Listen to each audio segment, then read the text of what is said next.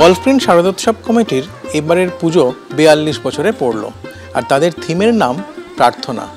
প্রথমেই বলি যে গোটা মণ্ডপ জুড়ে এই ধরনের বেশ কিছু ভাস্কর্য থাকবে, যেখানে এই প্রার্থনারত বিভিন্ন মানুষকে, বিভিন্ন আঙ্গিকে দেখা যাবে। এবার সরাসরি চলে যাব শিল্পী স্বরূপ নন্দীর কাছে তার থেকে জানব এই প্রার্থনায় কি কি থাকবে।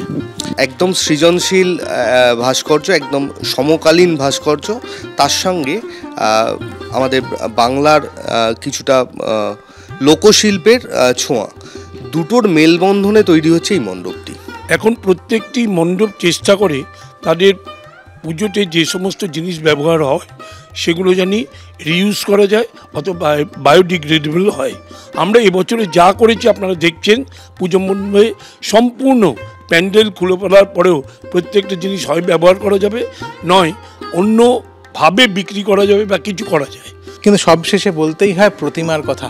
বাংলার একেবারে নিজস্ব ঘরানার যে পুতুল, যা কিনা মজিলপুরের পুতুল নামে পরিচিত, সেই ঘরানায় এই প্রতিমা তৈরি হয়েছে এবং এটি তাদের এবারের অন্যতম আকর্ষণ হয়ে উঠতে যাচ্ছে। সঞ্চয়ন মিত্র এবিপি আনন্দ, কলকাতা।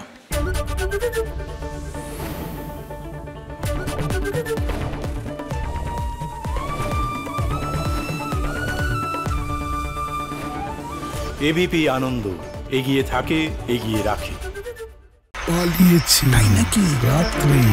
বাংলা গুজব চায় না বাংলা খবর চায় বাংলা খবর বাংলার খবর।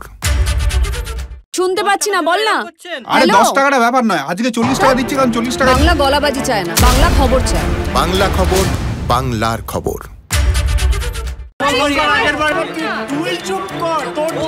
বাংলা ঝামেলা চায় না বাংলা খবর চায়। বাংলা খবর বাংলার খবর। বাংলা চেঁচামেচি চায় না বাংলা খবর চায়। বাংলা খবর বাংলার খবর।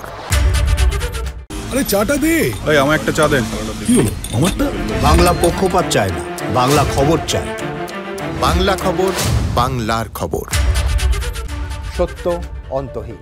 সত্যের খোঁজও তাই, সত্য সন্ধানে তাই আমরা অক্লান্ত অকুতভয় এবিপি আনন্দ নতুন ভাবনার প্রতীক, যা মনে মুক্ত, তথ্যে যুক্ত এবং যাবতীয় সীমানার বাঁধন থেকে মুক্ত।